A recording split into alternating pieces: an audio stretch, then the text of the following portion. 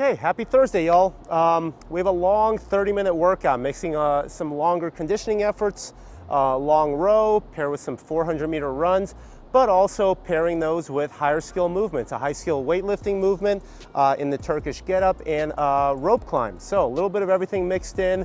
Good day to just shake out the body after the Monday, Tuesday, Wednesday progression. Okay, starting on the rower, we're gonna be rowing a lot today, those longer intervals. So I recommend slow down your stroke rate. Make sure you're extending, lock out the knees, finish the pull, and then relax on the way in. Generally, we want the recovery, the forward motion, to be twice as long as the drive. So if you're holding something like 25 strokes per minute, say your, uh, your drive takes like 0.8 or 0.9 seconds, then the way in should take about a second and a half. Okay. See if you can get that um, rhythm feeling good. Then we've got some scap pull-ups. Pull the shoulder blades down without bending the elbows.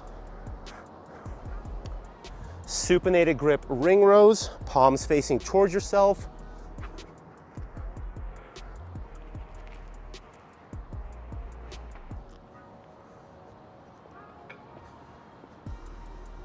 And everyone's favorite kettlebell windmill. Try and keep this arm locked out. Look up through the kettlebell up at the ceiling and you're gonna rotate. Try to keep your hand between your legs, touching the ground at the bottom. This builds a lot of shoulder stability through a long range of motion. And then 200 meter jogs side like magic, the magics of the magic of video. Okay, like I said, 30 minute workout. Pace yourself. We're starting with a thousand meter row for guys, A50 for the ladies. Um, yeah, then we're gonna work on some rope climbs. So, grab the rope with your feet, start with your feet crossed, step on the rope, get a firm grip with your feet, one leg's pulling up, the other leg's pulling or pushing down. If you have a strong grip with your feet, you should be able to stand up, stand on the rope, locking out your hips and knees, then move your hands a little bit higher. So that key on the rope climb is being able to stand, locking out the knees, then moving your hands up. Okay, so working rope climbs. Then Turkish get-ups, six on each side. These are gonna be a little bit of a grind. This is a lot of reps, working on a lot of, um, working on the shoulder stability and a long range of motion. Starting positions laying on the floor, kettlebell at extension.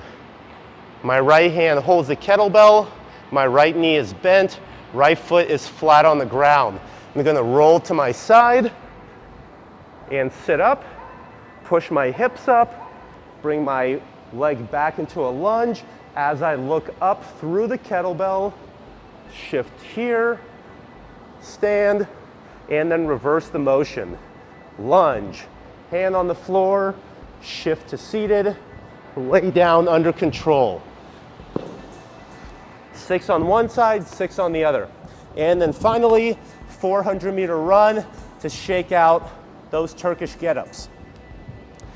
If you don't have access uh, to some of this equipment, substitute a 1,000 meter run instead of a 1,000 meter row. If you don't have access to a rope, we're gonna go 20 strict pull-ups.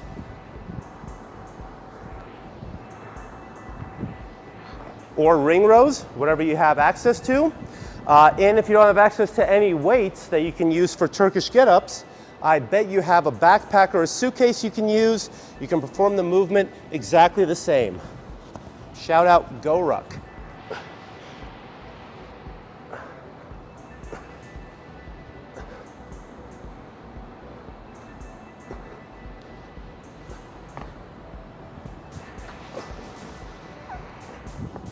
Okay guys, fun stuff, get after it.